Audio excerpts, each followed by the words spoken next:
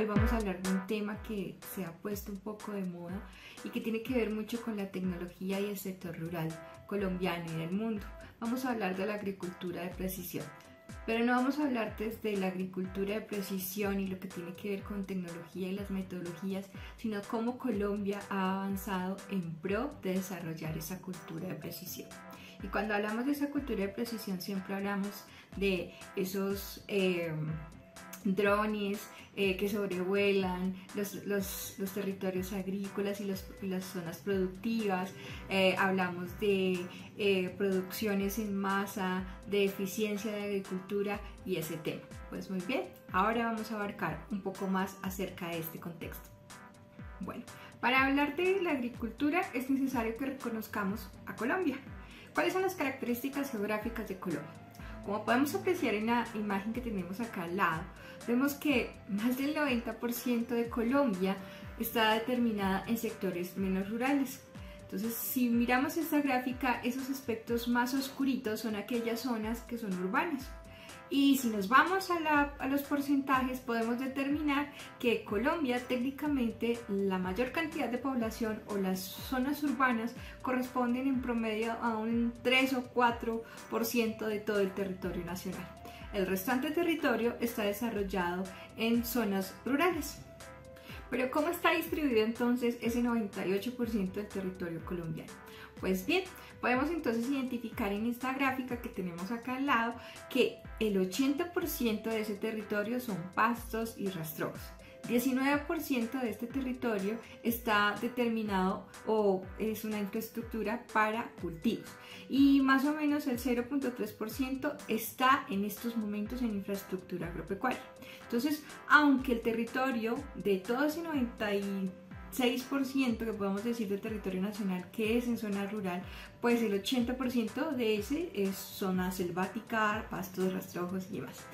Eh, sin embargo, cerca del 20% de, de esta zona podría ser generada para cultivos y hoy en día tan solo el 0.3% tiene infraestructura agropecuaria, lo que nos permite determinar entonces que tenemos un gran potencial de desarrollo en el territorio nacional para poder desarrollar la agricultura en Colombia.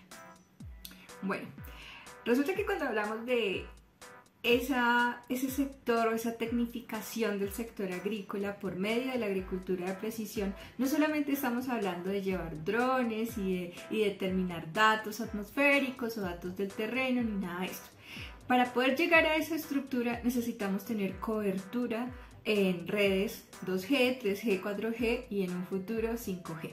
Y ahí es donde empieza nuestro problema a nivel territorial y ahí es donde empiezan todos los procesos y demoras que se, a los cuales podemos incurrir cuando hablamos de cómo implementar esos modelos de, de agricultura de precisión en Colombia. Como ustedes pueden ver en estas dos gráficas nos muestran entonces cómo ha ido evolucionando la cobertura de redes 2G, 3G y 4G a nivel de Colombia.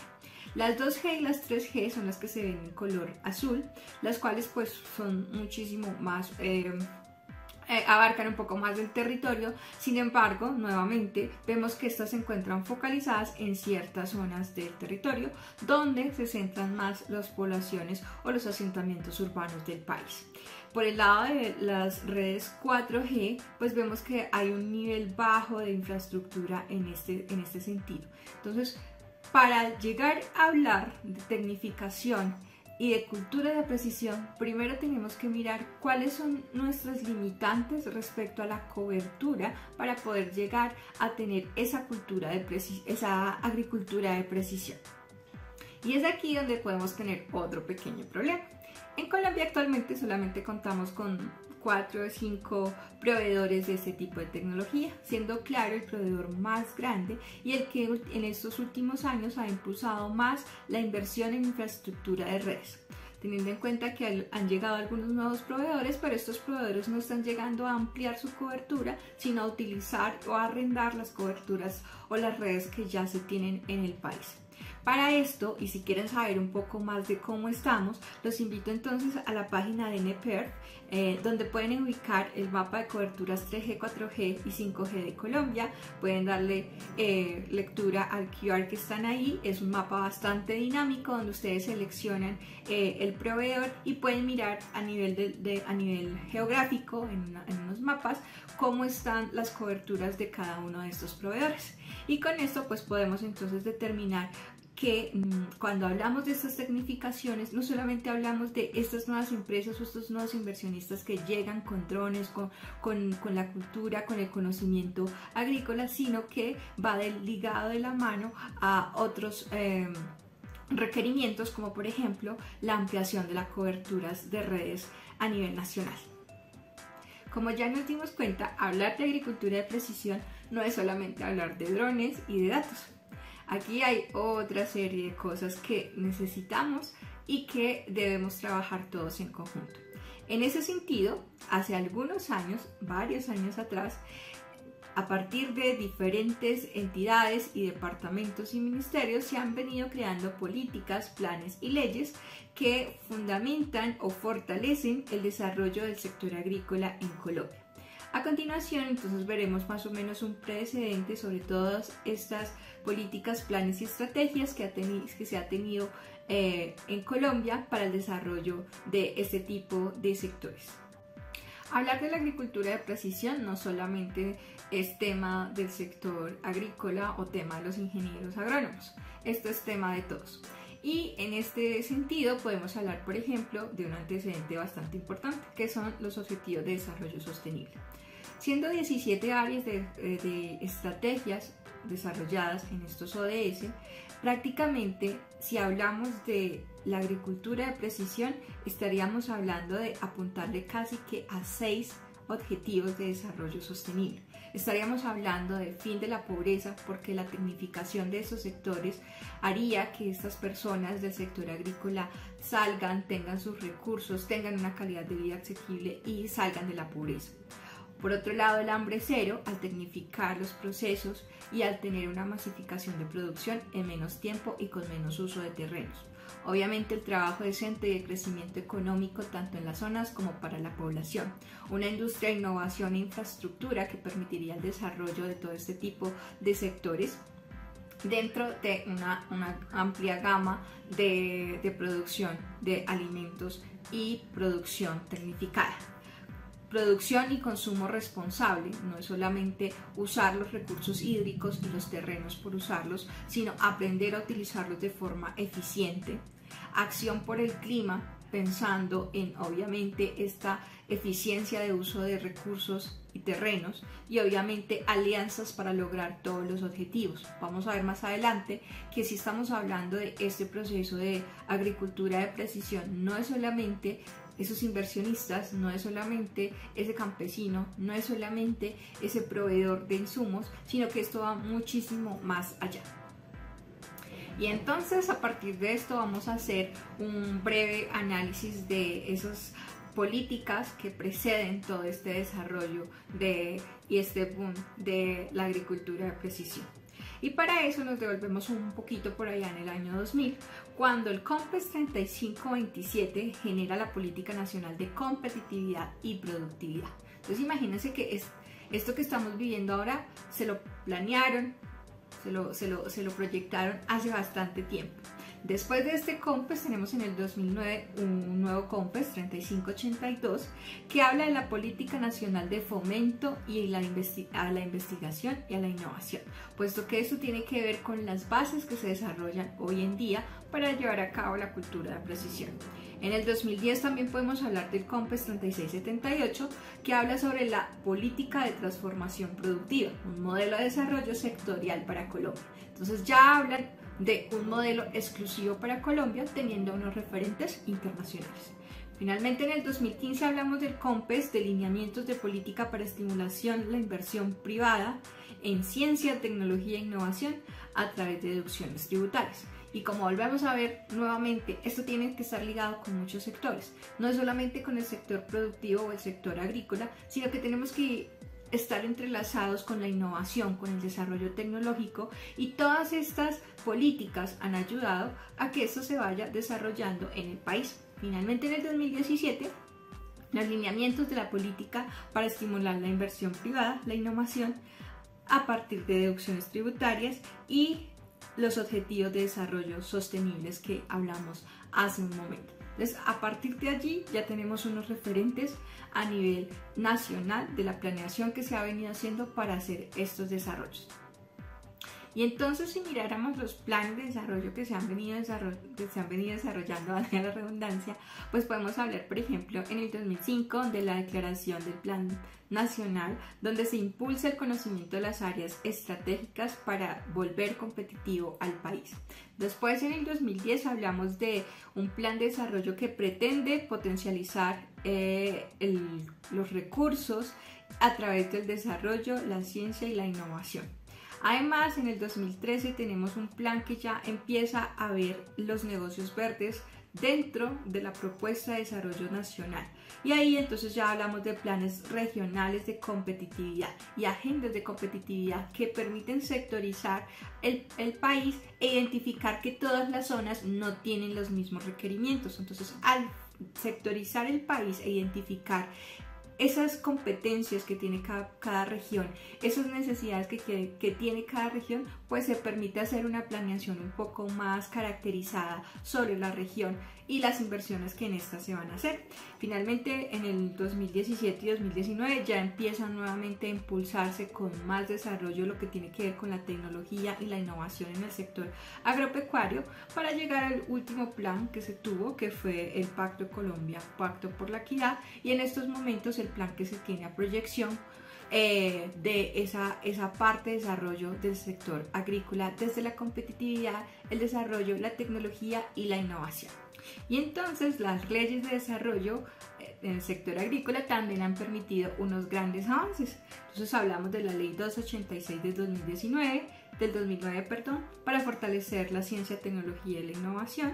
En el 2017 hablamos de esas normas de fomento de ciencia, tecnología e innovación con base tecnológica que, desarrollan estas disposiciones. También hablamos de una, un Sistema Nacional de Innovación Agropecuaria, SNIAS, que se crea en la Ley 1876 del 2017. Y en el 2019 eh, tenemos la ley 1955 por la cual se dictan unas disposiciones generales para el plan de desarrollo que se tiene para esa vigencia. Entonces, este tramado de leyes han permitido que mm, se facilite primero que todo el proceso, se asignen recursos, se caractericen las diferentes regiones y vayamos trabajando poco a poco en la segmentación, en la inversión y en el desarrollo de tecnologías para el sector agrícola. Bueno, y si nuestros gobernantes ya han venido creando unos pasos a pasos para venir ayudando a toda esta gestión de recursos, de procesos y demás, pues a continuación podemos ver entonces que no es solamente una problemática gubernamental, sino que esto atañe a todo un, un entramado de sectores y de actores que intervienen dentro de este proceso. Entonces, ¿cuáles serían esos principales autores que integran o que aportan al desarrollo del sector agrícola y pecuario? En Colombia tenemos entonces que hay por áreas, por ejemplo, tenemos el fomento empresarial e innovación. Entonces aquí vamos a tener esas características de las cámaras de comercio, la ANDI, FINDAR, MINTIC, el Ministerio de Comercio, todas estas entidades que pueden de cierta manera impactar, favorecer o desarrollar proyectos de fomento empresarial e innovación dentro del sector agrícola. Por otro lado, sin ser menos o siendo uno de los más importantes, la parte de financiación e inversión, donde podemos acudir cuando tenemos esa idea que puede fortalecer el sector agrícola, eh, la eficiencia de la productividad en este sector, pues podemos ir entonces a Finagro, a Impulsa, a Colciencias, a entidades sin ánimo de lucro y a diferentes eh, eh, organismos que fomentan este desarrollo. Desde empresas y usuarias bio, lo que tiene que ver con la parte de desarrollo e ciencia e innovación, pues tenemos que hay unas áreas o unas empresas o entidades privadas que pueden aportar a estos desarrollos. Encontramos entonces productores agropecuarios de Palma, la Central de Abastos, Laboratorios Bayer, eh, Dupont, Acosumillas, Asociación Porte Colombia y diferentes entidades privadas que pueden aportar al desarrollo de este sector. Tenemos entonces aparte eh, empresas también eh, que aportan a, esa, a ese desarrollo del sector agrícola. Tenemos otras que son las generadoras de conocimiento, como en este caso son las instituciones, investigaciones, centros de investigación, universidades. Entonces ahí también aportamos a este desarrollo del sector agrícola para todo el país. Finalmente tenemos el gobierno nacional que por medio de políticas, planes y leyes y regulaciones, pues, es quien más eh, quien juega un papel más importante en todo este proceso. Entonces, a través de sus ministerios de Agricultura, de Ambiente, de Comercio, eh, a través de autoridades nacionales y de PN, el UPRA, pues también tienen esa representación y interactúan de cierta manera con la parametrización y las políticas que permiten el desarrollo del sector agrícola en Colombia. Ya que hemos visto entonces cómo vienen las políticas, planes, desarrollos y estrategias a nivel gubernamental, también vimos entonces cuáles son todas aquellas entidades que intervienen dentro del desarrollo del sector agropecuario en Colombia. Entonces vamos a continuar en la trazabilidad de cómo es que vamos a llegar al desarrollo de esa agricultura de precisión. Y esto tampoco se podría desarrollar si no hay tecnología e innovación en el sector agropecuario. Bueno, una vez identificamos ya todos estos planes, políticas, resoluciones, leyes y estrategias que se han venido desarrollando desde el punto de vista gubernamental desde años atrás, entonces tenemos que mirar qué pasos tenemos que seguir dando. Uno de los pasos más importantes es el desarrollo de la investigación, la tecnología y la innovación en la, en la agricultura.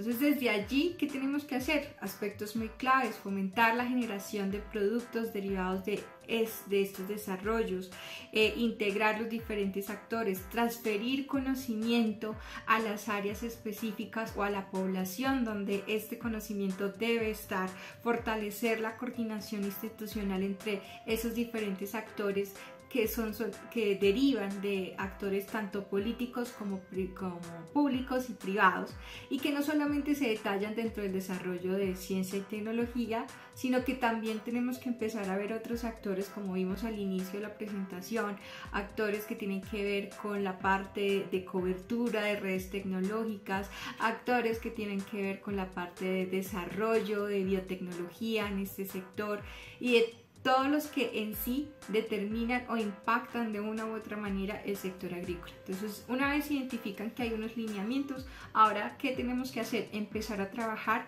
de la mano con todos estos actores para que se empiecen a desarrollar y se empiecen a aterrizar todas estas estrategias y los planes que se han venido desarrollando. Y si lo miramos desde un punto de vista estratégico y organizacional, pues entonces miraríamos al Ministerio de Agricultura y Desarrollo Rural de Colombia. ¿Cuáles entonces serían esos lineamientos principales de este ministerio? Primero, obviamente, el ordenamiento de la producción agrícola, pecuaria y forestal, determinar en qué somos buenos o qué podemos eh, tomar de otros segmentos que nos puedan llegar a generar nuevas apuestas de valor dentro de la producción agrícola interna. Además de eso, pues el fomento de los proyectos de transformación productiva, los incentivos respecto a la parte de estrategias de, comercialización agropecuaria, los, los esquemas de desarrollo tanto desde la producción como los de cosecha y venta, Nuevamente volvemos a la importancia de la investigación, el desarrollo y la innovación, donde las empresas privadas, las entidades públicas, las universidades deben aportar su granito de arena en el desarrollo de este sector. Y finalmente, la defensa comercial del aprovechamiento de los tratados de libre comercio, pero también eh, cubrir de cierta forma la producción que tenemos a nivel interno. Entonces, una vez entendemos que, hay unos planes, que hay unos actores, también debemos entender que a partir del ministerio se, se, crean esas estrategias que empiezan a alinear las áreas o los segmentos específicos para trabajar en pro de llegar a esa tecnificación del sector agropecuario en Colombia. Y es aquí donde ya empezamos a analizar todo lo que tenemos y lo que podemos aportar. Entonces, si miramos desde el punto de vista de equipamientos y servicio para el desarrollo agropecuario, pues tenemos que empezar a pensar en que hay que mejorar la calidad y la cobertura de la, de la conectividad, la tecnología, la comercialización de las zonas rurales. Hoy en día estamos viendo entonces eh, un rezago respecto a, a los canales de comunicación en vías las, las, temporadas de invierno las pérdidas son millonarias debido a que no se pueden sacar los productos. Entonces tenemos que, aparte de eso, también trabajar en esa estrategia. Luego tenemos que entonces que consolidar modelos de extensión agropecuaria por medio de leyes y parámetros que nos permitan comprender cómo es este sector o los proyectos productivos que se generan en ese sector no se pueden medir con la misma vara que se mide todos los tipos de sectores que están en desarrollo. Entonces tener como una, eh, una política especial en ese sector para que esos emprendimientos, esos desarrollos que se den ahí puedan fortalecer y pues puedan ser sostenibles y no se quiebren en los dos, tres primeros años. También tenemos entonces desde el punto de vista del ordenamiento productivo, pues incentivar el uso eficiente del suelo rural. Ya vimos entonces que eh, hay unas políticas para el uso de suelos eficientes sin tener que sacrificar los suelos que están destinados para conservación de bosques, impulsar modelos de agricultura climáticamente inteligentes y ahí ya empezamos a ver la innovación y la apuesta tecnológica que tiene que, eh, que, que lleva a cabo la agricultura de precisión, saber cuándo debemos sembrar, qué tipo de productos debemos sembrar, cómo los podemos sembrar aprovechando los suelos y los espacios y los pronósticos climáticos que podemos utilizar con el desarrollo tecnológico que podríamos tener con la cultura de precisión. Entonces, de esto podríamos seguir hablando, pero esos serían como en, en, esencia los cuatro ejes principales que tendríamos que trabajar inicialmente, aunque tenemos que fortalecer el servicio público, implementar mecanismos de comercialización tanto interna como externa, promover el desarrollo del clúster agropecuario, fortalecer las cadenas de valor y todo el sistema de los actores que intervienen dentro de ella. Entonces, tenemos mucho que hacer, pero la iniciativa sería que empezáramos por mejorar la calidad de la cobertura tecnológica, consolidar modelos de extensión agropecuaria, incentivar el uso eficiente de los suelos e impulsar modelos de agricultura climática inteligente. Y finalmente entonces tenemos una estrategia basada en tres puntos. Aparte de los temas que ya vimos, también tenemos que mirar entonces cómo sería el abordaje y las herramientas de diagnóstico para el área de producción del sector agrícola, la integración de la información y la toma de decisiones, puesto que, ¿qué sacamos con tener una cantidad de información si en el sector, si la población de la región no sabe qué hacer con esa información. Entonces también tenemos que hablar de, una educación de base tecnológica y que la, la gente empiece a confiar en los datos y a confiar en la tecnología. Y finalmente la implementación de la agricultura de precisión. En este sentido, en esta primera estrategia, que es el abordaje de las herramientas para el diagnóstico, tendríamos entonces primero los actores que pueden intervenir o arrancarían proceso, que sería gobierno nacional, áreas de generación de conocimiento, financiación e inversión para el sector y fomento empresarial. ¿Qué tendríamos que hacer allí entonces? Pues uso de los sistemas de posicionamiento global a partir de la cobertura y la tecnología. Eh, monitoreo de rendimientos de mapeos, adquisiciones remotas y agricultura de precisión, muestreo y mapeo y técnicas de avanzada de análisis. Entonces, en esta primera fase que se hace, se requiere una inversión en infraestructura para poder tener primero los datos preliminares con los que se pretende desarrollar el sector. Queremos entonces con nuestra segunda estrategia, la integración de información y toma de decisiones. Nuevamente vemos que es importante el actuar del gobierno nacional, eh, los generadores de conocimiento, ahí sí ya intervienen todo este tipo de instituciones, eh, nuevamente tenemos las áreas de inversión y financiación, fomento empresarial y las empresas de desarrollo bio. ¿Por qué tiene que estar allí? Ah, bueno, porque ya hicimos en nuestra primera estrategia una recolección de datos de diferentes formas, con, con infraestructura, con inversión, ya tenemos una cantidad de data predeterminada. Ahora tenemos que empezar a manipular la data para poder tomar decisiones. Y por eso es allí donde es muy importante las empresas desarrolladoras de bio y también las instituciones universitarias que a partir de su conocimiento pueden tomar esa data y empezar a generar diagnósticos y recomendaciones para la población. Entonces, creación de mapas de manejo de datos, uso de geoestadística y sistemas de información eh, geográfica para, para, la agricultura, interpretación de toda esa información desde los aspectos económicos, pues análisis de viabilidades, monitoreos y monitoreos para desarrollar eh, y evaluar que esas posibles tomas de decisiones o esas estrategias que se van a tomar a partir de toda esa cantidad de datos, pues tengan unas, una solidez y una fundamentación que evite los riesgos que se pueden presentar dentro de esta producción o dentro de ese desarrollo del sector agrícola. Finalmente, la implementación de la agricultura de precisión donde tendremos entonces que esas tecnologías nos permiten tomar decisiones sobre diferentes aspectos, por ejemplo, eh, el tipo de insumos, eh, los valores, las precisiones en, en, el uso de los insumos para que no se deterioren los suelos y no se afecte la fauna y flora de la región,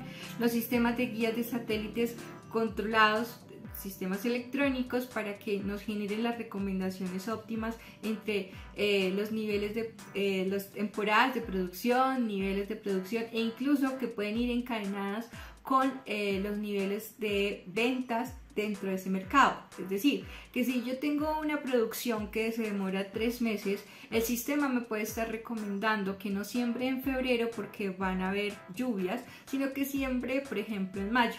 Una vez llego a agosto, dependiendo de la data que tenga, pues puedo identificar qué tan masiva va a ser la oferta de mi producto en esa temporada y si es necesario venderlo en esa temporada o lo puedo guardar para temporadas donde mi producto esté en oferta baja y yo puedo tener más rentabilidad dentro de esos factores. Sensores, eh, uso de, eficiente del, del, agua en los suelos, teniendo en cuenta que eh, en Colombia no tenemos esa esa cultura de, uso eficiente del agua, como si la tienen en países eh, del continente africano.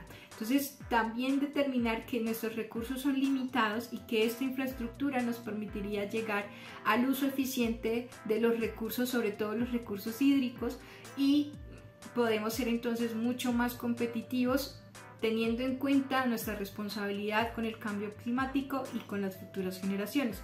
Finalmente, monitoreo y desempeño de retorno de las prácticas, retroalimentar, feedback de los procesos. Inicialmente esto va a llevar a cabo un proceso bastante grande de educación de la población para que aprendan a utilizar los datos. No es solamente tener eh, una aplicación, no es solamente que eh, el el agricultor ingrese a la aplicación y mire, sino que debe haber más allá una educación y una confianza en la tecnología. ¿Para qué? Para que esos datos que el agricultor alimenta o que está tomando de allí pues sean relevantes y se tiene que ver a medida que pasa el tiempo, si toda esta infraestructura de verdad está surgiendo el efecto de, generar desarrollo en el sector agrícola o si definitivamente se hizo una infraestructura que no se está optimizando y que la población no está comprendiendo para qué se está desarrollando.